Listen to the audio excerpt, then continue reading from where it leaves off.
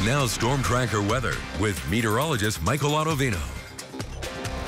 Well, if you didn't get enough of the snow that we saw on Christmas, more snow is on the way. There is a winter weather advisory in effect until 10 o'clock tomorrow night. This includes the lower Snake River Plain, also the eastern Magic Valley. We could see about one to two inches of snow through tomorrow night, and then the snow will start for the overnight and continue and be on and off for tomorrow. Not necessarily going to see an inch on the ground by tomorrow morning, but when all is said and done, we could see between about an inch or two. And the winter weather advisory is in effect because tomorrow morning you could experience some travel difficulties difficulties, you might want to give yourself plenty of extra time when you're heading out to work for tomorrow morning. Already starting to see that snow make its way into the central mountains, panning into Arco Hailey, and that band of snow will actually move into the Snake River Plain for the overnight. Even as we get a pan out, see where the rest of the moisture is, even more moisture will build in from the Pacific Northwest, and that will be our snowmaker for tonight into tomorrow. Looks like the snow will start to build in right around midnight across the Snake River Plain. Let's time it out. 10 o'clock tonight, those clouds building into the Snake River Plain and seeing that snow by about 1 o'clock this morning across the central mountains, and it'll continue to be on and off into the overnight, even into the morning commute tomorrow Still seeing those snow showers, especially along the I-86 corridor and the I-84 corridor as well along into the Magic Valley. Tomorrow, right around lunchtime, seeing cloudy skies out there. So as far as sunshine goes tomorrow, not really going to see much of it across all areas. Expect a generally cloudy day. Put it in motion even by about 5, 6 o'clock tomorrow night.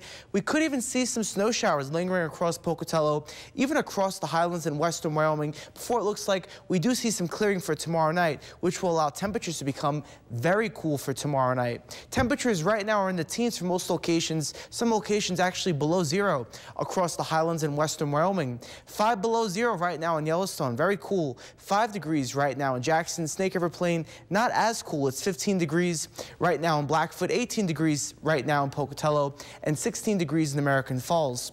Those low temperatures for tonight will be mainly in the teens out there, so really not really changing much from what they are now. And we could see that those snow showers build in to all areas. The snow showers will continue for tomorrow across the Snake River Plain with high temperatures mainly in the 20s. We'll have a high temperature of 24 degrees tomorrow in Idaho Falls, 23 degrees in Rexburg, 26 degrees tomorrow in Pocatello. Across the central mountains, snow showers are also possible. A pretty cloudy day out there. High temperatures in the 20s.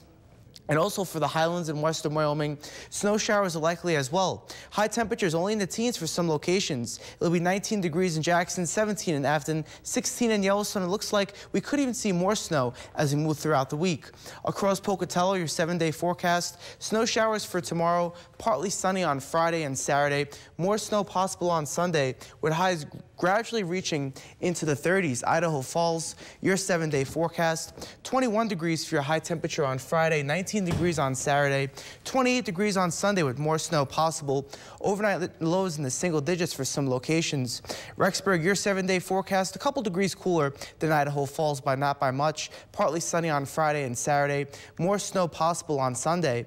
Across the Teton area, snow is possible for tomorrow. Snow showers on and off throughout the day. Low temperatures for the overnight well below zero for Thursday and Friday. And for the central mountains, expect snow showers for tomorrow and partly sunny on Friday.